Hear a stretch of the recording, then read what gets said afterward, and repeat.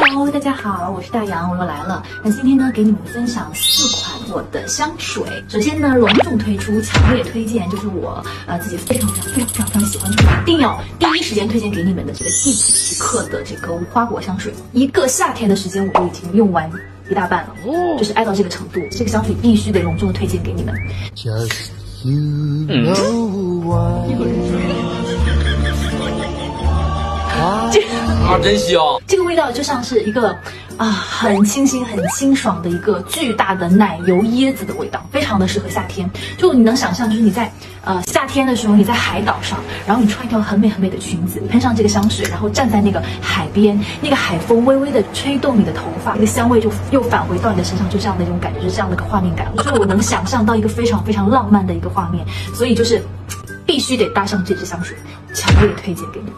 那第二支呢，就是一个非常就是大众的一个牌子，就是祖马龙他们家的招牌蓝风铃，几乎快见底了，你们看到没？蓝风铃就是跟它的名字是一样，就让人感觉怎么说有青春的气息。一个男生如果送女生礼物，如果你不知道选择送什么样的礼物的话，那你选它的话就是完全不会出错，绝对不会有任何问题的。包括你说像什么大学毕业呀，然后就是同学之间，就是呃友谊也行，就女孩送给女孩，我觉得这个也是一个非常值得推荐的香水。就如果你是选择人生中的第一支大牌香水的话，就选它，闭眼入没问题。OK。那第三支呢，还是祖马龙，这是一支祖马龙的红玫瑰，是我在冬天的时候入的，因为它非常适合秋冬，因为它相对于前面那两款香水来说的话呢，它的味道要浓郁一些。喷多了，味道真的很浓。你说个小笑话，就有一次冬天的时候，我喷它出门。最开始的时候我不知道它有那么浓郁，然后喷它出门喷了好多，喷在身上，然后我自己就坐在那个出租车上面，就我有一种，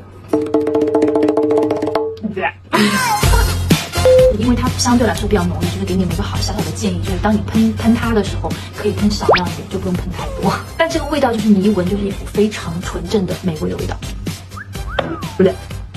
好，那要推荐的最后一支呢，就是我觉得有一种嗯成熟的御姐的感觉。就是这支阿玛尼，它的味道跟它的这个外形也是很像，就有股那种御姐范儿。这味道很甜，很甜很香。秋冬季节的时候，你喷它就是感觉，哎，走过去就是一个又御，然后又甜的一个甜姐儿的感觉。